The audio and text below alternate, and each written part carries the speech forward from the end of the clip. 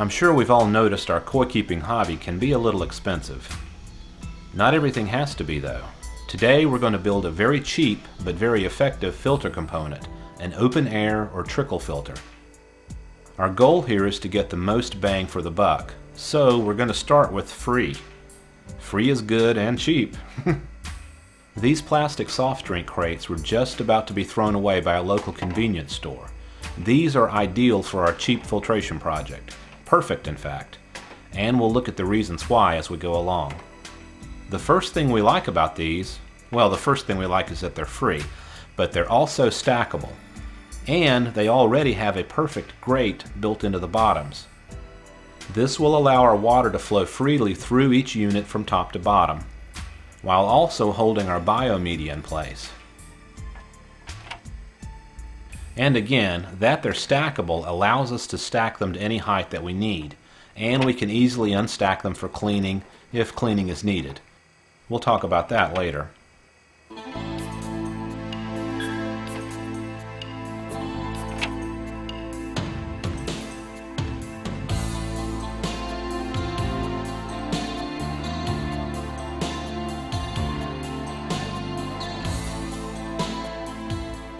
As a biofilter media, lava rock is very cheap and is among the best options we have. It's earthy or natural, that agrees well with our fish and with beneficial filter bacteria. Consider what makes a natural mud pond tick. Lava rock is also lightweight and has a tremendous amount of surface area. Pores, nooks, and crannies galore. I know what you might be thinking. Lava rock has been given a bad reputation within our hobby. But remember, that was way back in the olden days when it was used as a submerged media where it would collect debris, clog, and go anaerobic. Lava rock works very well when used as an open air media where the water is trickled over it and oxygen is plentiful. We're going to start this project with lava rock that has already been in use in another trickle filter for two years, first to prove a point, and also because I like to recycle. I'll just hose it off with well water, which has no chlorine.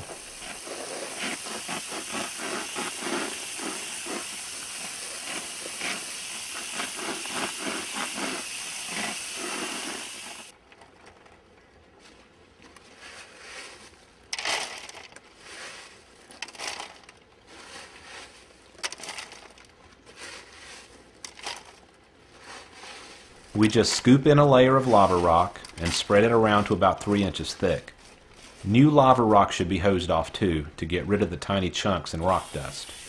If you have chlorinated city water and need to clean live filter media, obviously you can use a submersible pump and pump your pond water to hose the media off.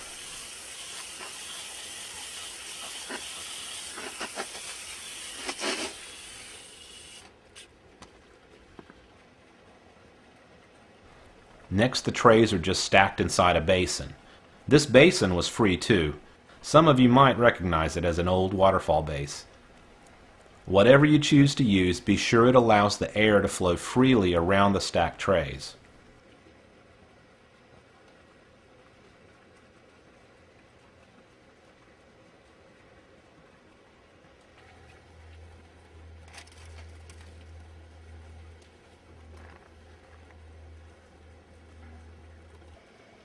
The bottom of our basin has a 2 inch bulkhead fitting. The water will get pumped over the tower of media trays and gravity flow back to the holding tank.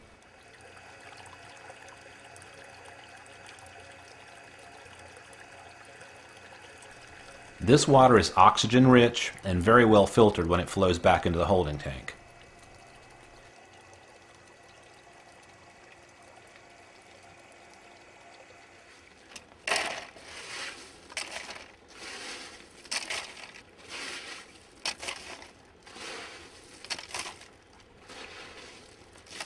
We continue filling and stacking the media trays to a height of about 4 feet.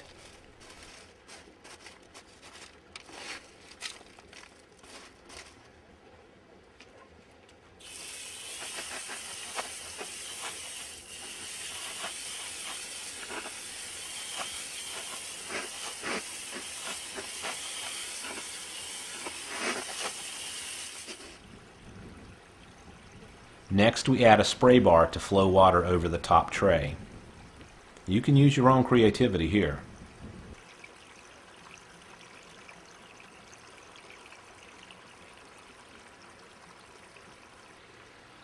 Once the water hits the grate on the first tray, it spreads out evenly and will flow evenly throughout the whole tower.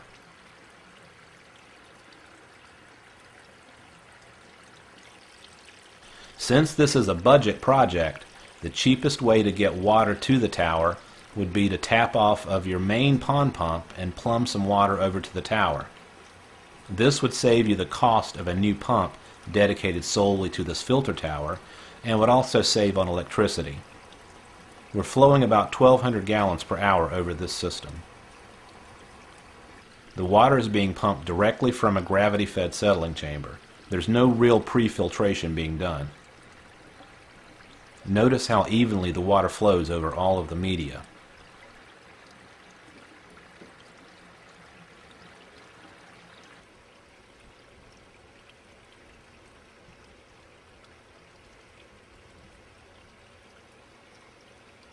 And also notice that oxygen is able to reach all of the media in every area of the filter tower.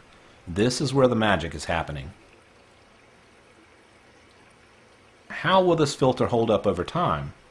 Will it clog? Will it collect organics? Let's take a look and see.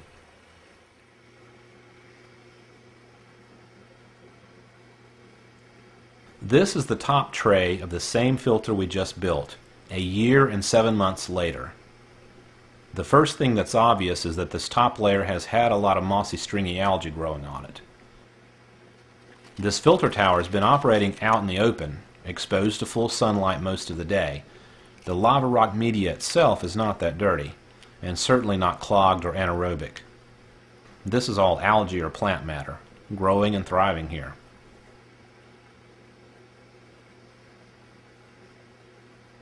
Shading the tower from the sunlight without disrupting the free oxygen flow will solve this issue.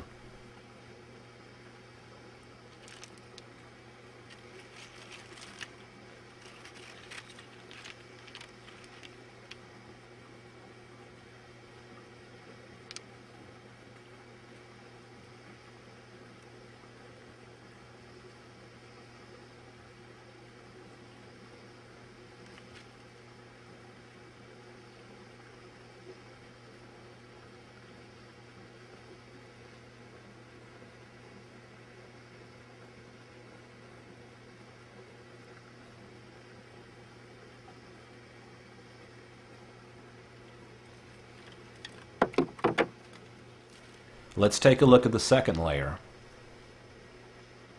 There's nearly no mossy algae growing here. There's no slime, no clogging. Look at the pores of the lava rock.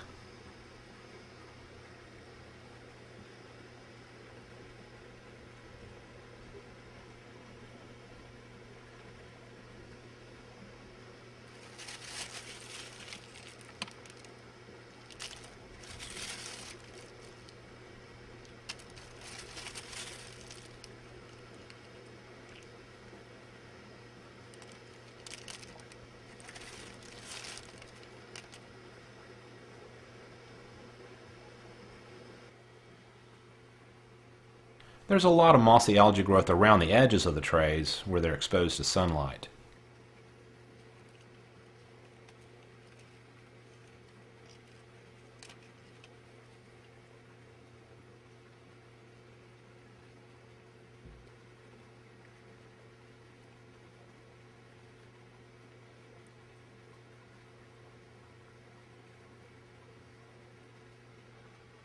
Let's look at layer number three now.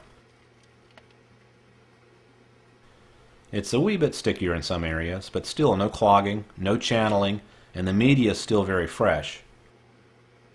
This is after over a year and a half of work, never cleaned, on a very heavily stocked koi farm holding tank.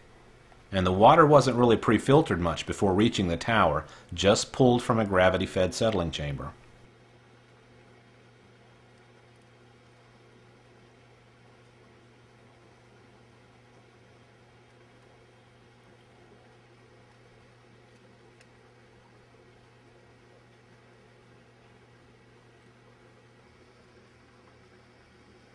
Look at the pores of this lava rock, all still open and no slime at all.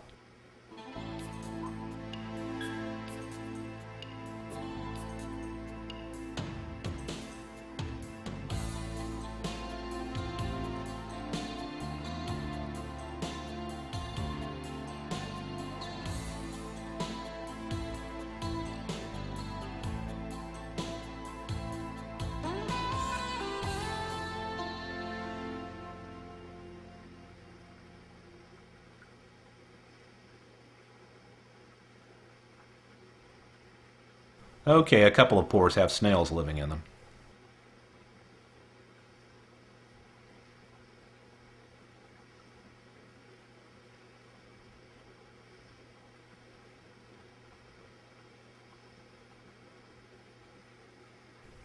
This filter costs less than $50 to make and is doing an incredible job. I'll hose off the top layer and turn it back on for another two years.